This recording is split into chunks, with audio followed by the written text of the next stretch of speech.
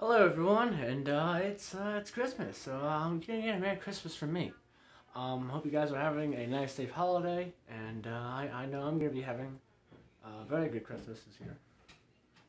Um, hanging out family and stuff, but uh, I want to give you guys a small update real quick. On Monday, you guys will be getting a new Death Battle reaction. Um, little Christmas gift to you. I haven't done one of those in a while, but um, I'll react to Hulk vs. Broly. It's season finale. It's I would prefer Zoro vs. Broly, but you know Hulk vs. Broly is pretty cool too. Can't wait to watch Hulk die. That's, that's gonna be a lot of fun.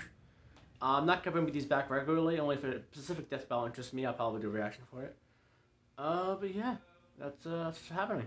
So, yippee yeah, that's happy New Year.